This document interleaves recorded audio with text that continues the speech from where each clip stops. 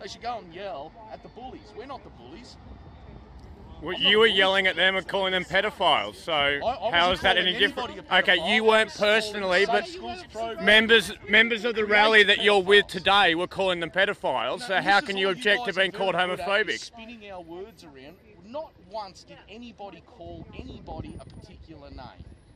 Yes, We- they did. I have that on characterised video. Them as Marxists. I characterised them as who they were, and yet the bullies are still out there bullying kids. So you deny that there was someone We're yelling out pedophile? We're to stop the bullying. That was you, sir. Why were you calling them pedophiles? This program supports pedophilia. The, co- the founder, co-founder, one of them, and I said that in my speech over there. You can see that that's up on live video, where the, one of the founders has said that pedophilia needs to be accepted as part, a wider part of the LGBTI community, so LGBTIB. So you believe the way to have an intelligent adult conversation about this issue is through name calling? Is that the example that you wish to set to children? You're being real good here. I'm sure you're one of the ones doing the same thing there. I'm just asking the question, sir. I'm letting you answer them. Well, this is the way it turned out. It was meant to be a peaceful process here with um, or demonstration of just a few speeches. And yeah, there were there were some things being called out. I called out that you're supporting pedophilia.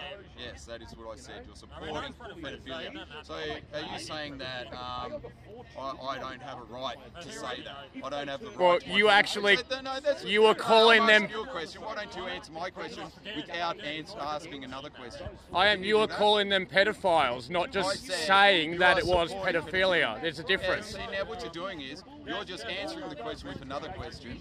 So I'm pointing out there's a difference. So, so you- you're not actually willing to give an answer, are you? You just want No, to shout I rhetoric. be giving an answer to a left-wing bigot like yourself that keeps answering questions with questions. You know, I told you how it was. I said what it was, and you're just continuing on. Just as I said, I was talking here before, and I kept getting spoken over, and I said, well, you're sitting here saying you want a serious discussion or a, di- uh, a discussion here, and then I just keep getting talked over. So That's- why'd that's- you call them gonna happen. Because the Safe Schools program pretty, is supporting pedophilia. It, it's indoctrinating and getting it ready for pedophilia. Uh, uh, they're trying to lower the age of consent right now. It's not right. So how is that any different to them I've calling you homophobic? How is that any different to them calling you homophobic?